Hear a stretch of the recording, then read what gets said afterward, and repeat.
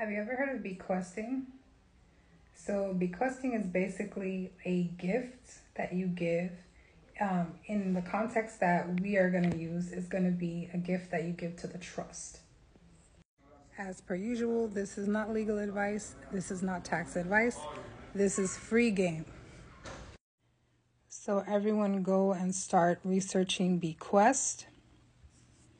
They use words here like legacy, inheritance so you can bequest cash, property over to your trust. And what you're doing is you're taking it out of your name and you're giving it to the trust as a gift.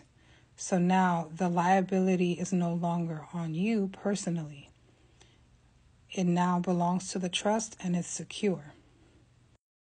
Most of the time, the initial funding for a trust is given over by bequest.